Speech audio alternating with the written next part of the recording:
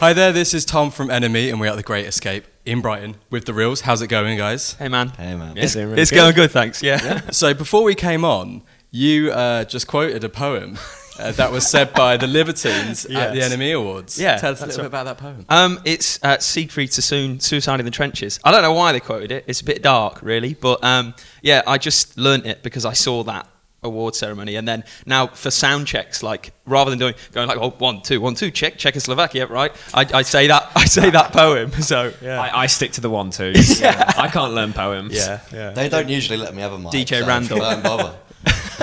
Libertines, they're a big thing for you guys, I'm guessing. Then, if Yes. you're watching ceremonies from 2006, though, yeah, yeah, big influence. No, he was just watching that when he was like three. He was just watching that. I was like, wow, I remember that poem. Yeah, it's actually really like how um, we kind of met Mason, uh, Cal. Well, we went to uni in London, and then we met Mason at, at Cal's. And literally, we needed a drummer. Mason was like, "You guys need a drummer. I'm your drummer," and that that's been it ever since. But the big thing, like uh, originally, was that Mace liked the Libertines, and we were massive Libertines fans. So yeah, that's kind of that's kind of really like where it uh, started.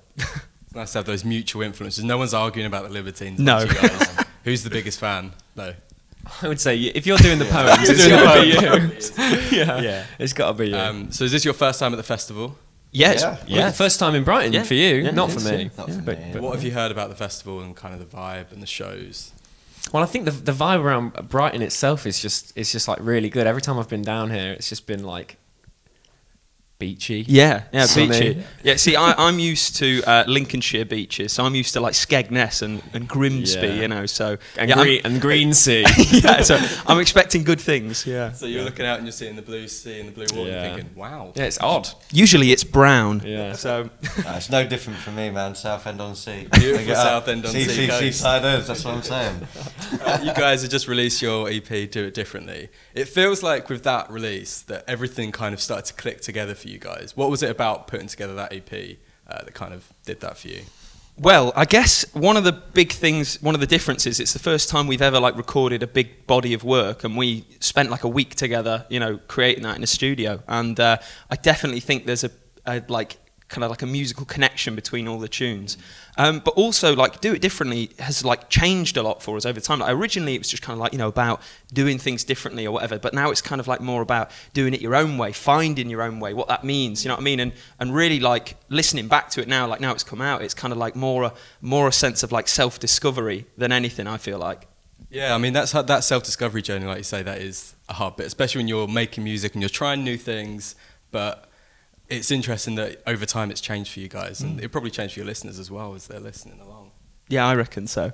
Yeah. Yeah, definitely. I agree. um, but what's also been great, you guys are coming around. Um, right now, you're touring, you're hitting all these shows. Feels like there's a, a big kind of like indie revival. People want to get out there, listen to bands. Uh, are you feeling the the audiences are ready for something like you guys? Definitely. I like. I think when when sort of we jumped on TikTok, that's when we knew that there was there was like a sort of taste for it, and and I think TikTok has really boosted that sort of indie zone, uh, so to speak. Mm. I think coming out of like a lockdown for you know on and off like year and a half, two years or whatever has really like given people this renewed sense of I want to go out and do stuff. You know, like we were all just caged for for quite a long time, and I think there is something in kind of like guitar music, you know, indie rock, whatever you want to call it, whatever kind of like avenue goes down, punk. You know.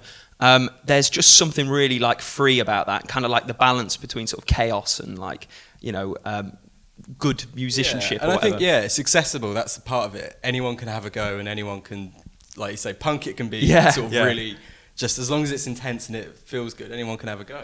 definitely, yeah. And what you were saying about TikTok as well, that is really interesting because I think previously a lot of artists and bands have maybe been a bit snobbish about it, but everyone's seeing the effects of it now and how quickly you can reach people, and that, that must be amazing for you to reach those people. We we were as well. We were Yeah. we were incredible. Like I remember uh, our manager was telling us to. Uh, he was like, "You need to jump on TikTok. Like no one's doing it right now." And this is when TikTok was still like people just dancing and doing things like that.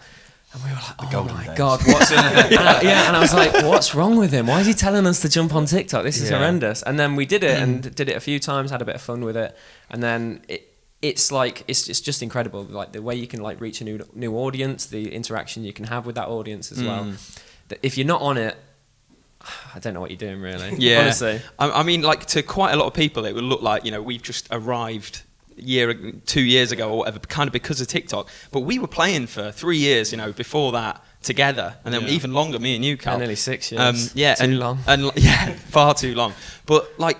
T- we played so many shows, did so much like work and releases and trying to get ourselves out there, and nothing came close to just going on TikTok. At the end of the day, like the thing that really broke it for us was always there. It was in our pocket. You know what I mean? We just didn't realise it. Yeah, and I think what's interesting about you guys, obviously from Lincoln, so a slightly regional scene, so not a big city, but like a strong local pride. Um, but these opportunities are letting you kind of reach people all around the world. Um, but for you, what is the Lincoln scene like? Are they supportive to you guys? I imagine they're your local heroes, surely. Very supportive, yeah. very Heroes, supportive. definitely. yeah, I legends. Some would say. Yeah, yeah, yeah. No, really, like super, super supportive. Like we've got um, a friend of ours, Hannah Fletcher. She runs like the BBC introducing show there, and she's just you know promotes us no end. Yeah, so so much you know respect for that, and uh, even like the the local football uh, team, Lincoln City, like they promote us all the time. The Imps, aren't yeah, the, Yeah, yeah, the the Imps, Imps, yeah, yeah. yeah. but um, yeah, no, really, it's like there's not a big scene. There's there's not loads of bands, but we're all we all know each other, and I feel like more than ever, there that like something's happening there. So yeah. Was it kind of like not intimidating, but when you're from a regional town, not a lot of people pay attention. You're competing with the big cities, and you almost think like, I don't know if we can stack up to these guys, but I sense a real belief that you guys can do anything wherever, whatever region. If you're a musician, you're from, you can make it happen now. I think we've uh, we've always sort of felt like the underdogs, even in Lincoln uh, when we were younger, like when me and Mitch yeah. were playing in like old bands under various names. Uh, we um, that we was still- one of the names. Yeah, Various, various names. names. yeah, under various names. Terrible one, I um, and uh, we we uh, we felt like the underdogs there, and then sort of moved to Sheffield after that. Definitely felt like the underdogs there. Then moved to London, and I, I think we were smaller than underdogs there. Maybe maybe un, under fleas or Under- something. Yeah, Fleas, underpups, yeah, yeah. And uh, but but yeah, it's just I think we've always said you just have that sort of blind belief that you can do it, and then it sort of magically works. Yeah, I, I think maybe this this regional thing of like being, especially because like people from Lincoln, you go down south and people are like, oh, you're Northerners. You go up north and they're like, you're Southerners. You know, and we have this like weird middle ground thing, and and I think that might be where that kind of comes from. We're all like. We all know our identity. If you're from Lincoln or you're from like these regional areas, East Midlands, whatever, you know, it's really obvious to us and it's really strong and something we believe in. But to everybody else, they don't quite know it yet. So yeah, maybe it's that. And I think what has been really interesting with your story, you've done the EPs, you're playing all these shows. Like you say, you've been going at it for a little while now, so it's not like an overnight success like some people might think.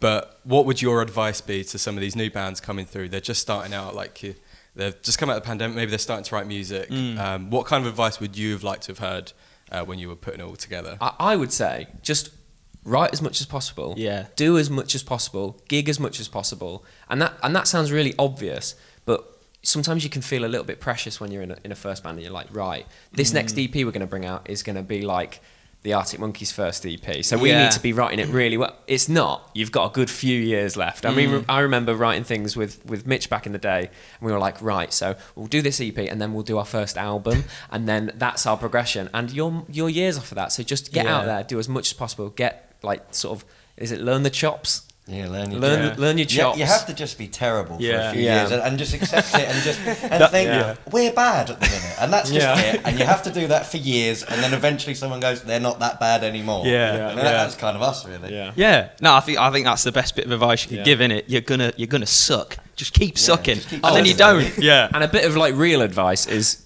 don't play gigs without selling merch. That's like the one only thing you can make Yeah. money on Yeah, when, when you're in a small band. And we just refused to for ages. Mm. And then we're like, oh my God, we can actually make money and, and like sell merch and people like it. Mm. I don't know why people don't do it. don't tell everyone yeah, they're just give the secrets away. So you've got to suck a little Yeah. bit, but make some t-shirts make and some it'll all work out in t-shirts, yeah. yeah, just, Exactly. just have a clothing brand. Yeah. Skip the music man. Yeah. What's, the, point? Yeah, What's yeah, the actual it. point? There's so much music, don't bother. Just leave it to the Rills. Yes. Give me your money. Right, thanks very much, guys. No Best of luck with your set, and thank Yeah. you very much for watching. Thank thank you. you, man.